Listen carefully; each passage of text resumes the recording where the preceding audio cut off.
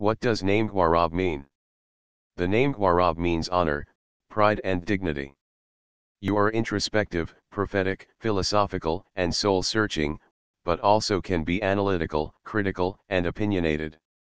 You think deeply and clearly, have an air of mystery, can be solitary and secretive. You are bold, independent, inquisitive, and interested in research.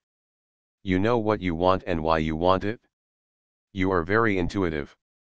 You have a reservoir of inspired wisdom combined with inherited analytical ability, which could reward you through expressions of spiritual leadership, business analysis, marketing, artistic visions, and scientific research.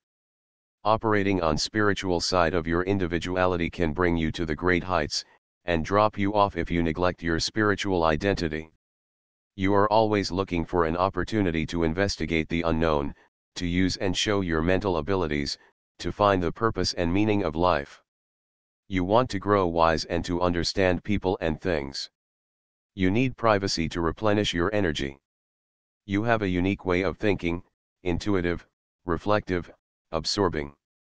Your personality number is 2. The personality number is how others see you. The number 2 represents union the father-mother principle, and so cooperation and association. 2, 2, are always in the eternal search for their other half, their complement. 2 is the number of peacemakers. They understand the law of harmony and desire to balance their life and those around them they may feel incomplete without someone to share their love, ideals, wealth, or work.